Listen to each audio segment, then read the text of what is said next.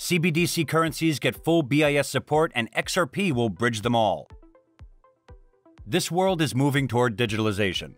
The financial crisis, money issues regarding money laundering, tax evasion, and identity theft have made the world leaders think of going toward a more digitalized system. CBDCs are the cure to these crises, and now the Bank of International Settlements has fully backed the idea of CBDCs, and XRP will be the main ingredient in this. Hey guys, welcome back to Crypto Millionaires, a channel where we give daily updates about XRP.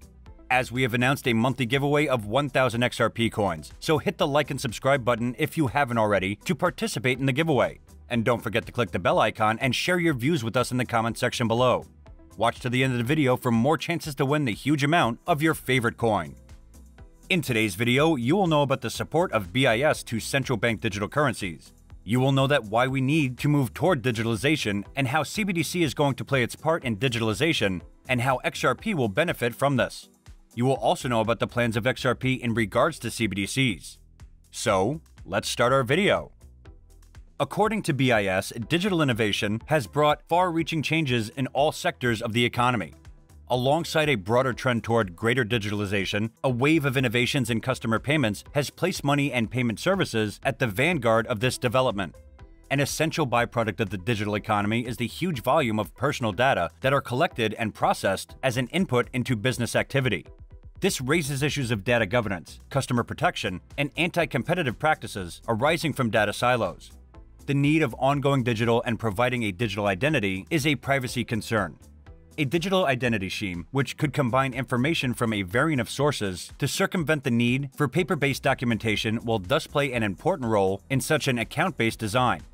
By drawing on information from national registries and from other public and private sources, such as educational certificates, tax and benefit records, property registries, etc., a digital ID serves to establish individual identities online it opens up access to a range of digital services. For example, when opening a transaction account for an online shopping, and protects against fraud and identity theft. Through digitalization, money laundering, identity theft, fraud, anti terrorist financing, tax evasion, and many other factors that lead to unlawful activities can be prevented.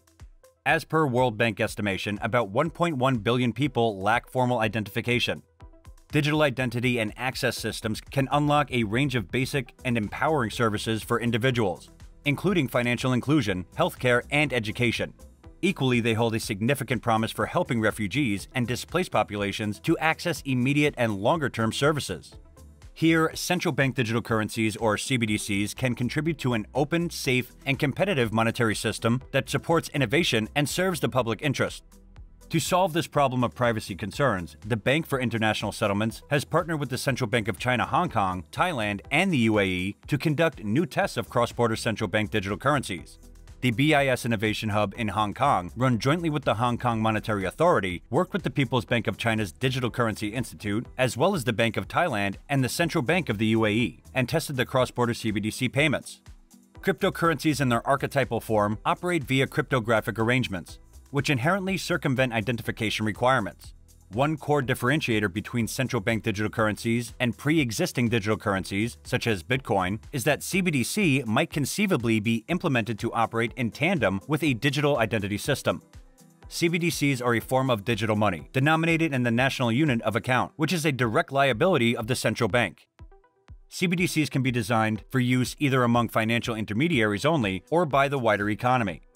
On June 23rd, the Central Bank to Central Banks, BIS, the Bank of International Settlements, has given its full backing to the development of central bank digital currencies, or CBDCs, saying they are needed to modernize finance and ensure big tech does not take control of money. BIS has set out some recommendations on how a CBDC, such as a digital dollar, euro, yen, or yuan, should look. As per the report, as part of its upcoming annual report, it's estimated that at least 56 central banks and monetary authorities, representing around a fifth of the world's population, are now looking at digital currencies as commerce shifts online. Benoit Cœuré, head of Innovation Hub at the BIS, referred to the move toward central bank digital currencies and its support, said that the train has left the station.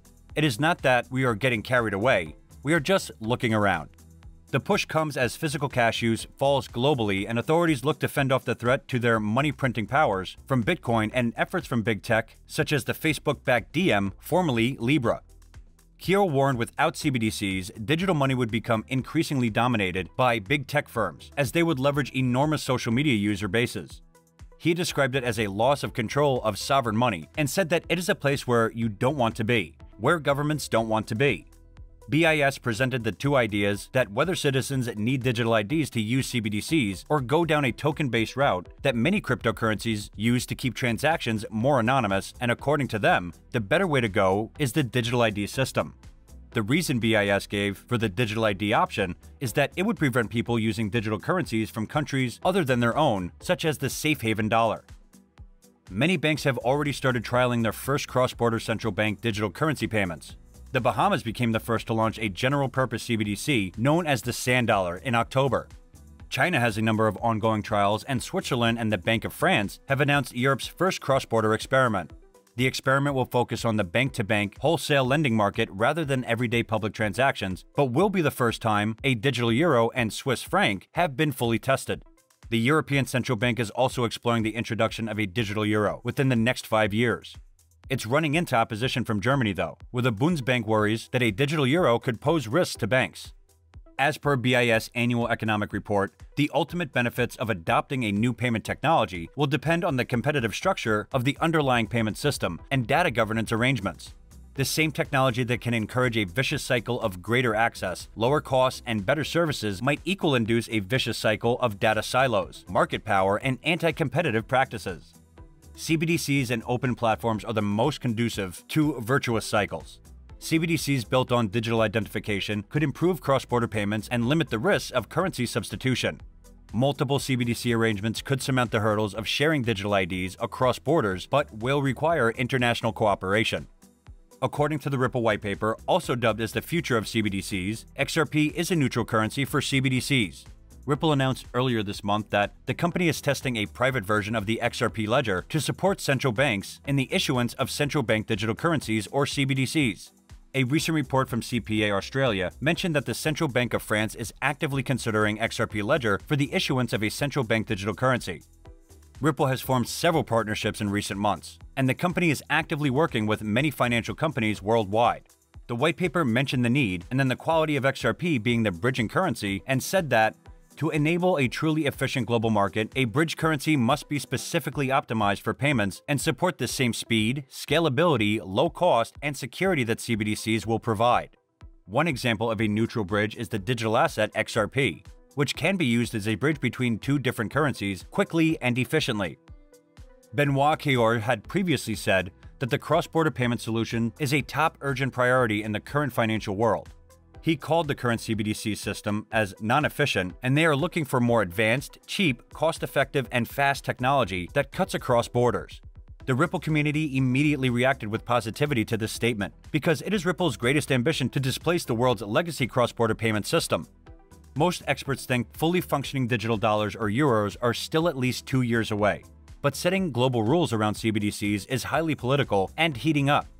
Ripple XRP will be used to bridge all CBDCs. These are very ambitious plans that Ripple has, which will massively increase the utilization of XRP.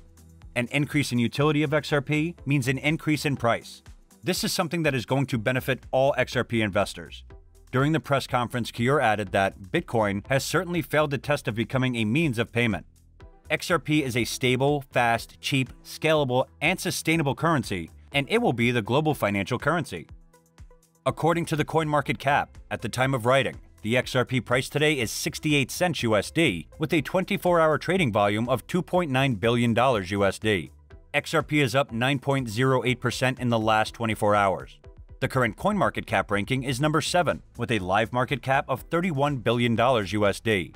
It has a circulating supply of 46 billion XRP coins and a max supply of 100 billion XRP coins. So guys, this is it for today's video. I hope it could be a big help to you. What do you think about XRP's future after that? Share your views with us in the comments down below. Don't forget to click the bell icon and participate in the giveaway. And thanks for watching.